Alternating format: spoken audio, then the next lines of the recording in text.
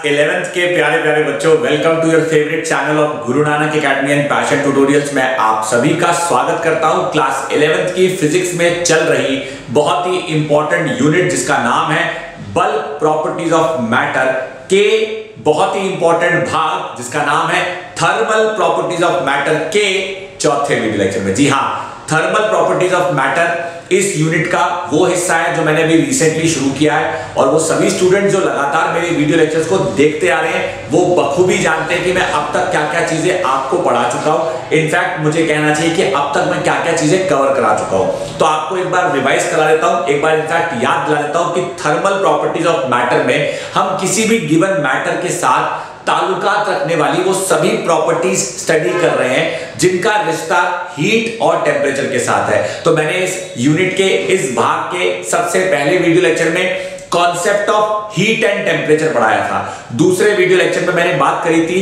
Expansion of solids की और तीसरे वीडियो लेक्चर में मैंने बात करी थी एक्सपेंशन ऑफ़ लिक्विड्स की। तो फिर बचा क्या? वेरी गुड आपने सही सोचा। आज के इस वीडियो लेक्चर में मैं बात करने जा रहा हूँ एक्सपेंशन ऑफ़ गैसेस की। और एक्सपेंशन ऑफ़ गैसेस का जो टॉपिक है, कोई बहुत बड़ा टॉपिक नहीं है। एक छोटा सा टॉपिक है, लेकिन इंपॉर्टेंट टॉपिक है। एक्सपेंशन ऑफ़ गैसेस के साथ साथ मैं आज के ही वीडियो लेक्चर में एक नई चीज़ और शुरू कर दूँगा, जिसे हम कहते हैं concept of specific heat capacity या मुझे कहना चाहिए, एक और टॉपिक उसी से रिलेटेड जिसे हम कहते हैं मोलर हीट कैपेसिटी इस यूनिट के, इस भाग के अंदर हीट कैपेसिटी का टॉपिक सबसे ज़्यादा इंपॉर्टेंट माना जाता है, क्योंकि आगे चलकर फिजिक्स में और केमिस्ट्री में एक यूनिट है। जिसका नाम है थर्मोडायनेमिक्स। जी हाँ इस यूनिट के खत्म होने के बाद हम थर्मोडायनेमिक्स की ही यूनिट शुरू करेंगे।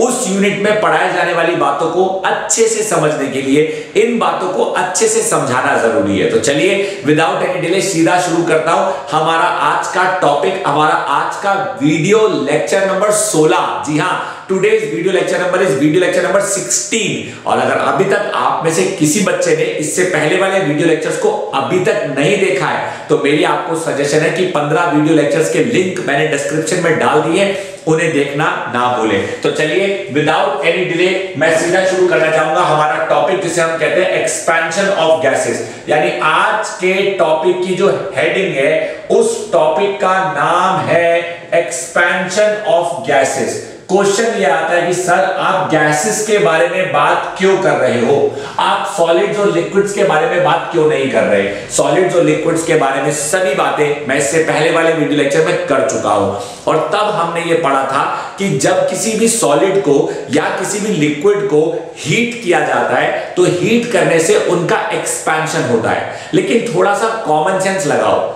आपको क्या लगता है? कि सॉलिड लिक्विड और गैस में से सबसे अच्छा एक्सपेंशन किसका देखने को मिलेगा? एक बच्चे ने फट से जवाब दे दिया, सर, गैस का। अरे बच्चों, गैस तो ऑर्डिनरी टेम्परेचर पे भी एक्सपैंड कर जाती है। तो सोचो, अगर हम टेम्परेचर राइज करेंगे तो गैसियस स्टेट का एक्सपेंशन सॉलिड और लिक्विड स्टेट के कंपैरेटिवली कितना अच्छा ऑब्ज़र्व करने को मिलेगा। क्योंकि गैशियस स्टेट में जो पार्टिकल्स होते हैं, वो काफ़ी ज़्यादा डिपेंडेंट होते हैं टेम्परेचर पे। तो एक बच्चा बोला मतलब आप ये कहना चाहते हो कि सॉलिड स्टेट और लिक्विड स्टेट के अंदर जो पार्टिकल्स हैं, उनका एक्सपैंड होना क्या टेम्परेचर पे डिपेंड नहीं करता? उनका एक्सपैंड होना भी टेम्परेचर पे डिपेंड करता है, लेकिन इतना ज़्यादा नहीं करता, क्योंकि और भी फैक्टर्स है जो मैटर करते हैं। नेचर ऑफ़ द सब्सटेंस भी मैटर करता है। वो चीज़ यहाँ भी मैटर करेगी, लेकिन फिर भी हम ये मान के चलते हैं कि कोफिशियंट ऑफ़ वॉल्यूम एक्सपेंशन जी हाँ ये शब्द आपने पहले भी सुना है। अल्फ़ा बीटा और gamma coefficient of linear expansion जिसे अल्फ़ा कहा जाता है। कोफिशियंट ऑफ़ एरिया एक्सपेंशन जिसे बीटा कहा जाता है। कोफिशिएंट ऑफ़ वॉल्यूम एक्सपेंशन जिसे गामा कहा जाता है। तो गैसेस के केस में हम ये मान के चल रहे हैं कि, मान के क्या चल रहे हैं, यही होता है कि वॉल्यूम एक्सपैंड कर रही है। और गैसेस के केस में जो वॉल्यूम एक्सपैंड करती है तो डेफिनेटली वो टेम्परेचर पे डिपेंड करती है। कैसे डिपेंड करती है और इसमें क्या सीखना है, वो सुनो। तो मैं बताना चाहूँगा आपको बहुत इंपॉर्टेंट बात in case of gases I repeat my sentence in case of gases temperature का बदलाव करने पर I repeat my sentence temperature का बदलाव करने पर। टेम्परेचर पर टेम्परेचर का बदलाव करने पर वॉल्यूम का बदलाव होता है। वॉल्यूम का बदलाव होता है। वॉल्यूम का बदलाव होता है according to relation according to relation एक रिलेशन है फिजिक्स में जो आपको पता होना चाहिए।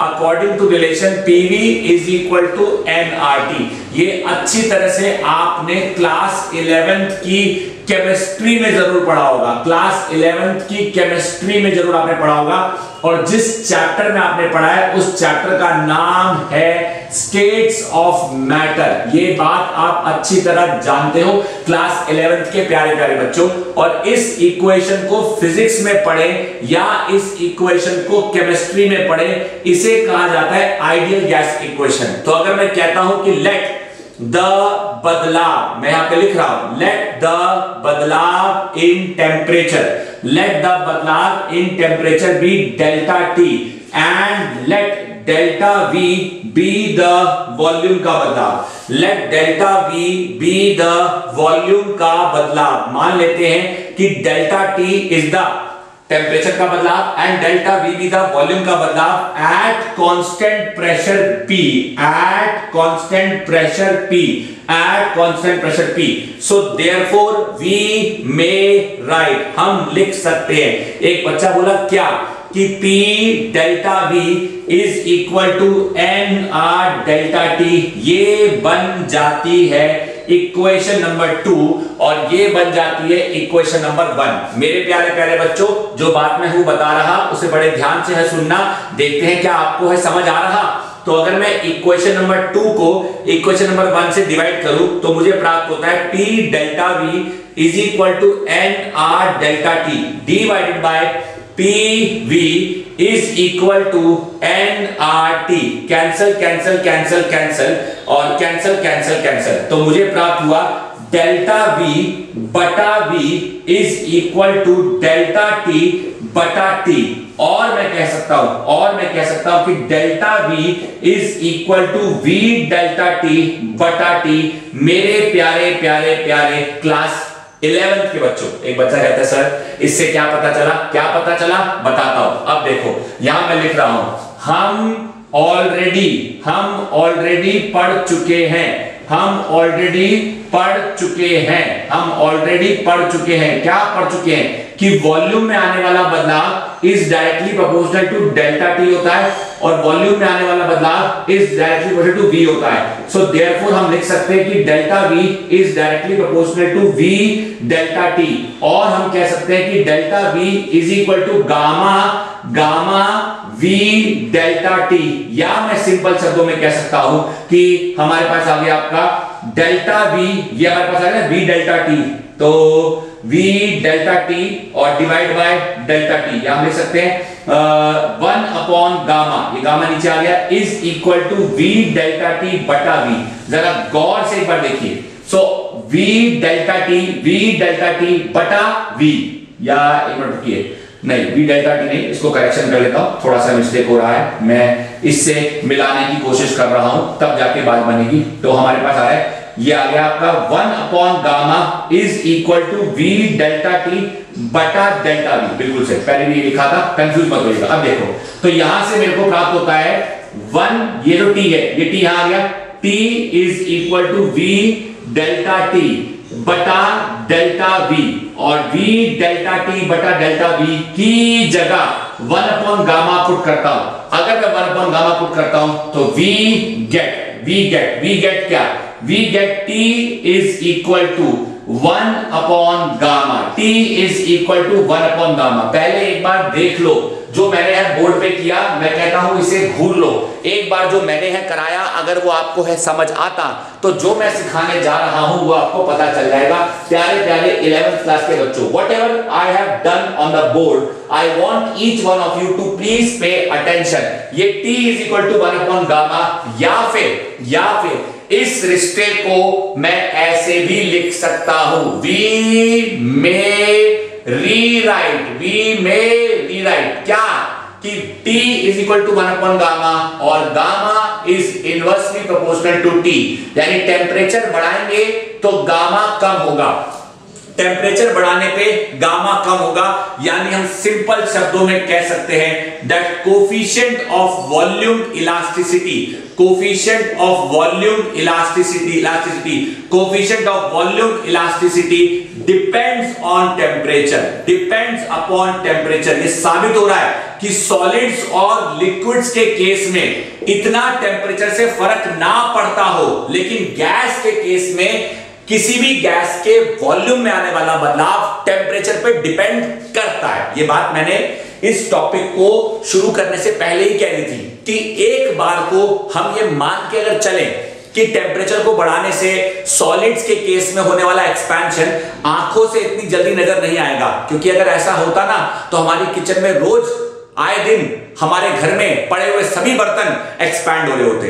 तो हमें ऐसा बहुत ज़्यादा सिग्निफिकेंटली देखने को नहीं मिलता। लेकिन गैसेस के साथ, मामूली से मामूली टेम्परेचर के बदलाव से भी एक अच्छा खासा एक्सपेंशन देखने को मिलेगा।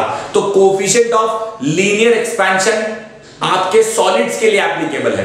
कोफिशिएंट ऑफ़ एरिया एक्सपेंशन आपके सॉलिड्स और लिक्विड्स दोनों के लिए एप्लीकेबल है। और वॉल्यूम एक्सपेंशन मैं कहता हूँ तीनों के लिए एप्लीकेबल है, लेकिन सबसे अच्छा अगर वॉल्यूम में बदलाव आ सकता है, खास करके सॉलिड्स, लिक्विड और गैसेस में से अगर एक को चुना जाए तो सबसे अच्छा एक्सपेंशन ऑफ़ वॉल्यूम अगर कहीं देखने को मिल सकता है तो वो है गैसेस और मैंने प्रूव किया कि आपको साफ़ पता चल रहा है that coefficient of volume expansion here comes out to be dependent on temperature which means कि जैसे जैसे टेंपरेचर बढ़ेगा, वैसे वैसे गामा कम होगा।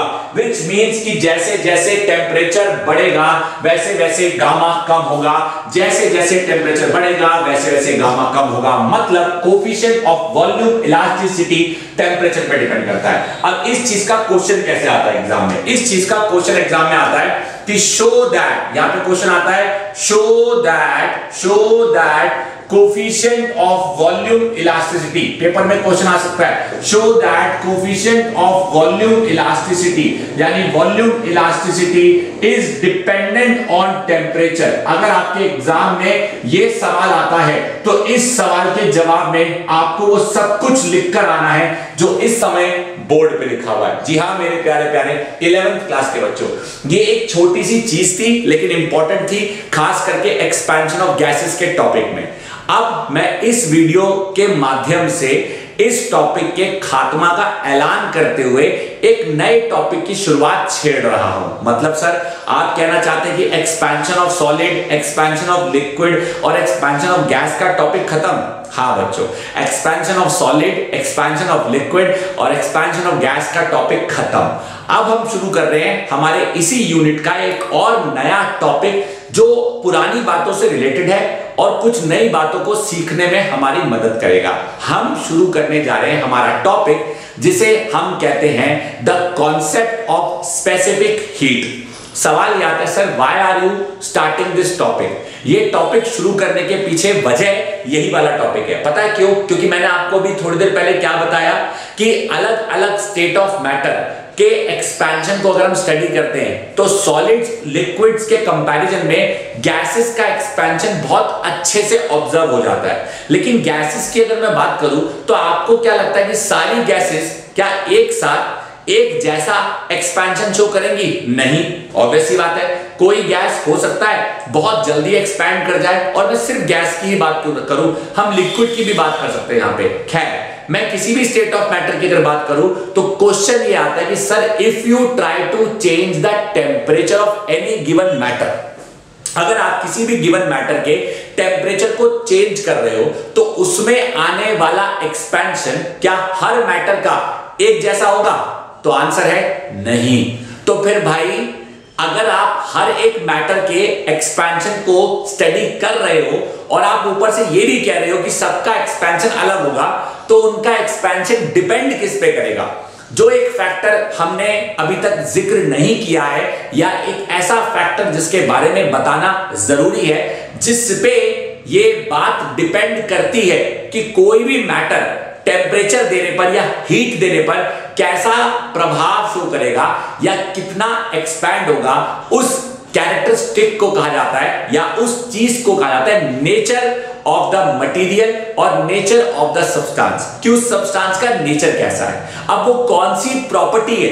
जो उसके नेचर को निर्धारित करती है। वो कौन सी प्रॉपर्टी है जो ये बताती है कि उसका नेचर क्या होगा? उस प्रॉपर्टी को कहा जाता है specific heat of that particular matter एक बच्चा बोला, मैं कुछ समझा नहीं। एग्ज़ाम्पल देके बताता हूँ।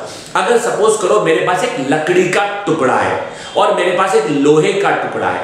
मैंने लकड़ी के टुकड़े का एक ग्राम का पीस लिया और लोहे के टुकड़े का एक ग्राम का पीस लिया। दोनों को एक ही समय पर हीट देनी शुरू करी। क्या आपको लगता है कि दोनों एक समय पर, बराबर की हीट देने पर बराबर गर्म होंगे? ऑब्वियसली बात है नहीं। हो सकता है कि लोहे का टुकड़ा, जो कि मेटल है, जल्दी हीट अप कर जाए। एज कंपेयर टू लकड़ी का टुकड़ा, इसका मतलब the amount of the heat that will be required to raise the temperature of both the substances by one degree Celsius मतलब जो हीट की रिक्वायरमेंट होगी, उनका टेम्परेचर बढ़ाने के लिए, क्या वो हीट दोनों में बराबर होगी? नहीं। उसी को कहा जाता है स्पेसिफिक हीट एक बच्चा कहता है, सर, आपने तो मतलब ही समझा दिया। फिर आप बोर्ड में समझाओगे क्या? अब सुनो। मैंने मतलब समझाया थोड़ा और डिटेल में बताता हूँ। ध्यान दीजिएगा हम शुरू करने जा रहे हैं हमारा बहुत ही प्यारा टॉपिक जिसे हम कहते हैं कॉन्सेप्ट ऑफ़ स्पेसिफिक हीट तो सर एक्सपेंशन ऑफ़ गैसेस की हेडिंग को मिटा देते हैं। बिल्कुल जी।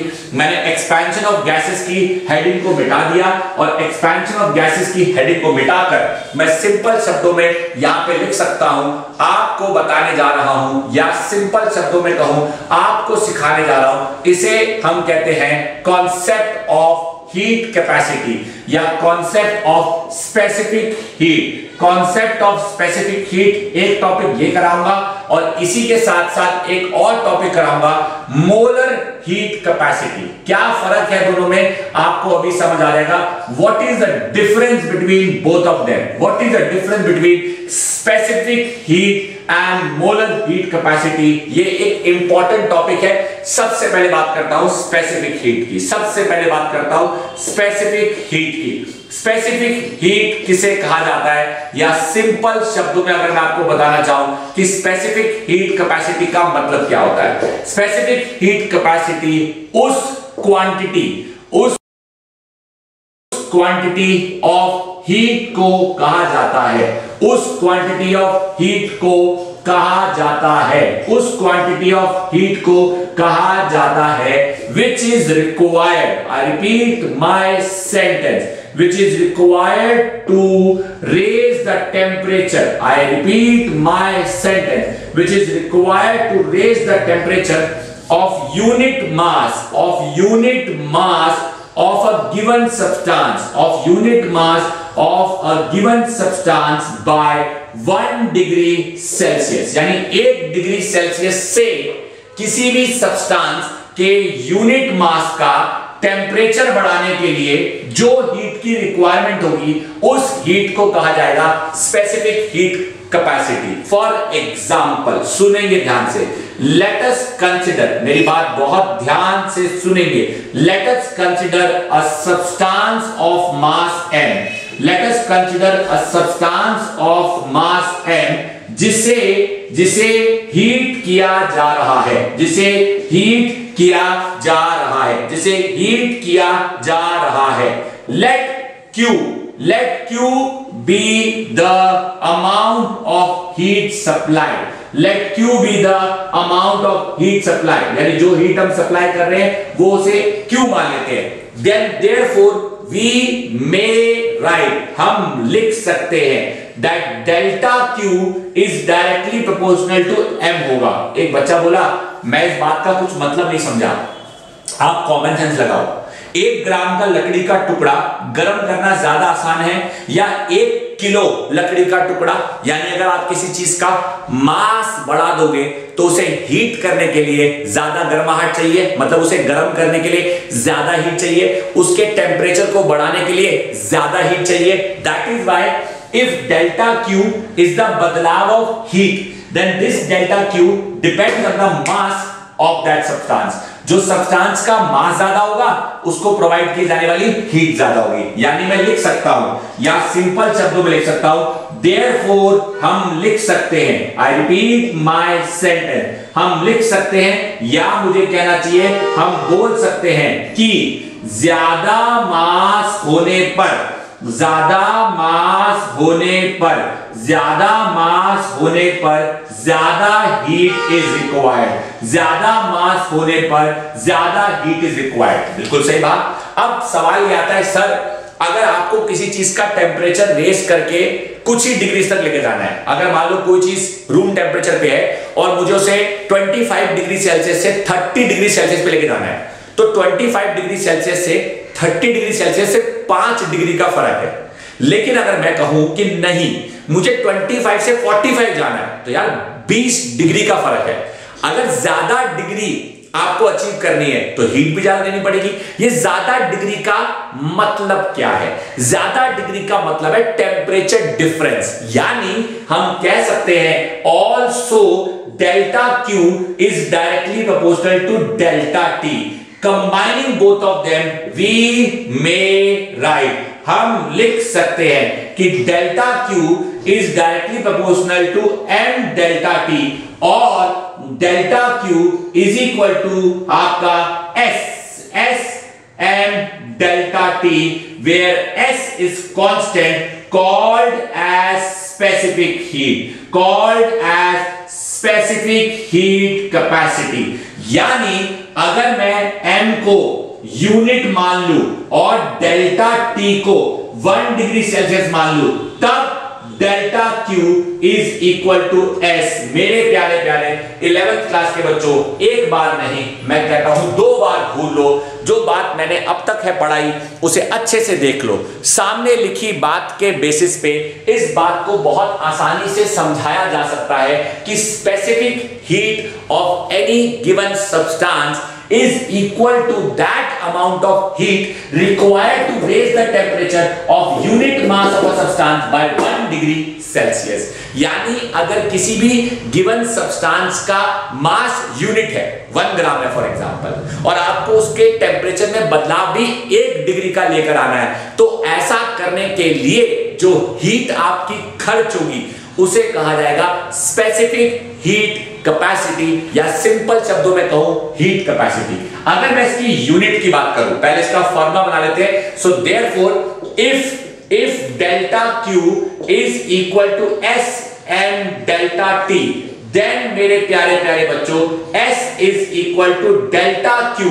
upon M delta T यानी अगर मैं यूनिट की बात करूँ तो डेल्टा क्यू के लिए आता है कैलोरीज पर ग्राम पर डिग्री सेल्सियस मेरे प्यारे प्यारे बच्चों इलेवेंथ क्लास के बच्चों this comes out to be the unit of specific heat capacity है मेरी आपसे गुजारिश कि जो बोर्ड पे है लिखा उस पे दीजिए पूरा ध्यान ताकि ना हो मेरा कोई बच्चा जरा भी किसी बात से परेशान। सो so, ये चीज़ आपके लिए समझना बेहद ज़रूरी है। अगर आपको ये फॉर्मूला समझ आ रहा है तो समझो आपको बहुत कुछ क्लियर हो रहा है। लेकिन क्या सिर्फ़ स्पेसिफिक हीट के बारे में बताने से काम चल जाएगा। मेरा जवाब है नहीं।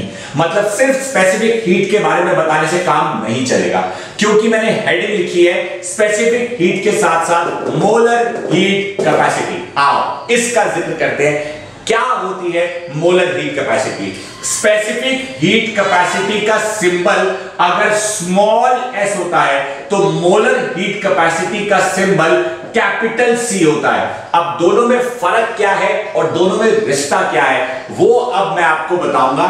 ये टॉपिक की शुरुआत करके, क्योंकि स्पेसिफिक हीट के बारे में मैंने बता दिया है। एक बच्चा कहता है, सर क्या फ़र्क होगा ज़्यादा से ज़्यादा? स्पेसिफिक हीट में और मोलर हीट कैपेसिटी में एक शब्द मोलर ही तो है जो जुड़ गया। बात तो सही है, एक शब्द मोलर ही है तो जो जुड़ गया। इसका मतलब कि अगर मैं कहता हूँ कि the amount of the heat required to raise the temperature of one mole. अब मैं वन मास नहीं बोलूँगा वन ग्राम नहीं बोलूँगा, मैं यूनिट मास नहीं बोलूँगा। यूनिट मास के टेम्परेचर को बढ़ाने के लिए जो हीट चाहिए, उसे तो कह देंगे स्पेसिफिक हीट लेकिन वन मोल के टेम्परेचर को बढ़ाने के लिए जो हीट चाहिए, उसे हम कह देंगे मोलर हीट कैपेसिटी बिल्कुल सही आपने सुना, बिल्कुल सही आपने सोचा। एक बार फिर भी बोर्ड पे मैं कहता हूँ, नज़र डाल लीजिए, ताकि ना हो मेरा कोई बच्चा जरा भी परेशान। अगर आप देंगे पूरी अटेंशन है मेरी गारंटी नहीं आएगी आपके जीवन में कोई भी, कभी भी, कैसी भी टेंशन और अब जब मैंने आपको कह दिया है कि आपको नहीं होगी कोई टेंशन तो सिंपल सी बात है, अब जो मैं बताने हूँ जा रहा, उस पे आपको देनी होगी अपनी पूरी अटेंशन तो चलिए मोलर हीट कैपेसिटी के बारे में आपको बताता हूँ. यहाँ पे जो मैंने लिखवाया था, उस सबको मैं मिटाता हूँ. लेकिन इन्हीं बातों का इस्तेमाल करके आपको मोलर हीट कैपेसिटी के बारे में पढ़ाऊँगा मेरे प्यारे प्यारे इलेवंथ क्लास के बच्चों. So what is molar heat capacity यानी सिंपल शब्दों में अगर मैं लिखूं यहाँ पे कि मोलर हीट कैपेसिटी का मतलब क्या है? मोलर हीट कैपेसिटी का सिंपल सा मतलब है the amount of heat the amount of heat required the amount of heat required to raise the temperature the amount of the heat required to raise the temperature of one gram mole of a given substance of a given substance यानी कोई भी एक हमारे पास given substance है, उसके एक ग्राम मोल का तापमान बाय वन डिग्री सेल्सियस में बढ़ाना है is called as is called as molar heat capacity या molar specific heat is called as molar heat capacity denoted by capital C capital C जी हाँ, मेरे प्यारे प्यारे बच्चों कैपिटल सी से इसे डिनोट किया जाता है। अब इसका फॉर्मूला क्या होता है? सुनेंगे मेरी बात। मोलर हीट कैपेसिटी बहुत इंपॉर्टेंट है ये बात। Molar heat capacity that is C is equal to M into S होता है। M इंटू एस में ये हो गया मोलर हीट कैपेसिटी ये हो गया मोलर हीट कैपेसिटी ये हो गया मॉलिक्यूलर मास यानी किसी भी सब्सटेंस का molecular mass molecular mass of a given substance molecular mass of a given substance और ये हो गया specific heat of a given substance यानी specific heat of a given substance अब कैसे इस चीज़ को डिराइव करेंगे? तो मैंने यहाँ पे लिखा let there be a given matter एक हमारे पास गिवन मैटर है। Let there be a given matter of mass and molecular mass and molecular mass m so therefore number of moles सुनो ध्यान से पहले number of moles is equal to given mass upon molecular mass अगर number of moles is equal to given mass upon molecular mass होता है that is number of moles N is equal to Chhotu M बटा capital M हुआ और छोटू M is equal to N into capital M हुआ। एक बच्चा कहता है, अब इस छोटू एम का क्या करोगे? अब देखो क्या करेंगे। यहाँ मैं लिख रहा हूँ, आप सुनो ध्यान से। हम जानते हैं, हम जानते हैं कि delta Q is equal to M S delta T होता है। हाँ भाई, होता है। So therefore S is equal to delta Q बटा एम डेल्टा टी होगा। हाँ भाई, होगा।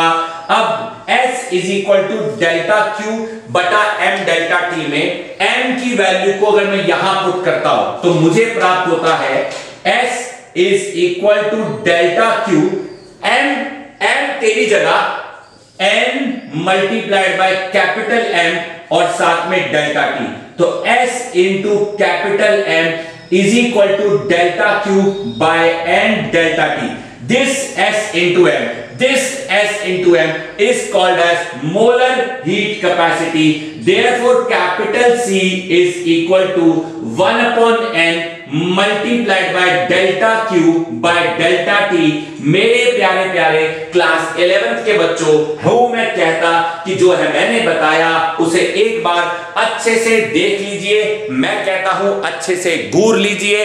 ये चीज़ बहुत इंपॉर्टेंट है। इसे कहा जाता है, यानी सिंपल शब्दों में कहूँ this is the expression rather मुझे कहना चाहिए this is the formula this is the expression of molar heat capacity मैं कहता हूँ कि घूर लीजिए, मैं कहता हूँ कि देख लीजिए, ये चीज़ है बहुत इंपॉर्टेंट क्योंकि मैंने आपको है समझाई और आई होप है मुझे भरोसा कि आपको समझ आई। सो प्लीज़ एक बार बोर्ड पे जो जो चीज़ें मैंने अब तक आपको है बताई, या जो जो चीज़ें मैंने अब तक है आपको सिखाई, है मुझे उम्मीद, मेरे हर एक बच्चे को अच्छे से समझ आई। So this is something very very important that I wanted each one of you to understand and I wanted each one of you to visualize लेकिन बहुत सारे बच्चे कई बार मन में सवाल उठाते हैं कि, सर, ये जो स्पेसिफिक हीट है, क्या ये सिर्फ़ गैसेस के लिए एप्लीकेबल है? क्या आप स्पेसिफिक हीट का ज़िक्र सॉलिड्स के लिए और लिक्विड्स के लिए नहीं कर सकते? कर सकते हैं। सॉलिड्स की भी स्पेसिफिक हीट होती है। एग्जांपल तो मैंने सॉलिड्स का दिया था। लकड़ी का टुकड़ा और लोहे का टुकड़ा, भूल गए क्या? तो सॉलिड्स की भी स्पेसिफिक हीट होती है लिक्विड्स की भी स्पेसिफिक हीट होती है। तो आज के इस पूरे वीडियो लेक्चर में वॉल्यूम का एक्सपेंशन ऑफ़ गैसेस का टॉपिक मैंने उठाया, उसको उठाते हुए उसे खत्म कराया। उसे खत्म कराते हुए आपको मैं यहाँ तक लाया, लेकिन यहाँ पे लाकर मैंने अब इस बात को यही है ठहराया, क्योंकि अगली बात अगले वीडियो लेक्चर में मैं शुरू करूँगा। मतलब मैं नेक्स्ट वीडियो लेक्चर में जो टॉपिक शुरू करूँगा that will be going to be the topic of effect temperature on the specific heat of solids gases का तो आज ज़िक्र कर दिया। तो सॉलिड्स के साथ लिक्विड्स के साथ और ऐसी क्या चीज़ें हैं जो हमें जाननी है, यानी स्पेसिफिक हीट का टॉपिक अभी खत्म नहीं हुआ है। ये काफ़ी लंबा चलने वाला टॉपिक है, क्योंकि इसका ज़िक्र इस यूनिट के अलावा आने वाली अगली यूनिट थर्मोडायनेमिक्स में भी होगा। सो मेरे प्यारे प्यारे बच्चों, आपने आज बड़ी पेशेंस से मेरी बातों को सुना, आपने अपने जीवन का कीमती वक्त दिया, आपने अपनी अटेंशन दी, बाकी चीज़ों को पूरी ध्यान से समझा, उन सब के लिए मेरी तरफ़ से आप सभी का तह दिल से शुक्रिया। सो माय डियर स्टूडेंट्स अगर आप इलेवेंथ क्लास के बच्चे हैं और आप ये चीज़ों को बहुत सीरियसली समझते हैं तो ये बात सिर्फ़ आप तक नहीं रहनी चाहिए, सीमित सबको मिल जानी चाहिए, जितने भी आपके दोस्त और साथी हैं। I just want each one of you to please maximum से मैक्सिमम दोस्तों के साथ मेरे वीडियो लेक्चर्स को शेयर कीजिए चैनल को सब्सक्राइब कीजिए कमेंट कीजिए लाइक कीजिए और सबसे ज़्यादा इंपॉर्टेंट मेहनत बरकरार रखिए। फिर से एक बार लौट के आऊँगा, एक नए वीडियो लेक्चर में नया टॉपिक आगे बढ़ाऊँगा और यूनिट को आगे लेके जाऊँगा। फिर से आज के इस वीडियो लेक्चर को देखने में जो आपने अपना कीमती वक्त दिया, उसके लिए मेरी तरफ़ से आप सभी का तह दिल से शुक्रिया। Thank you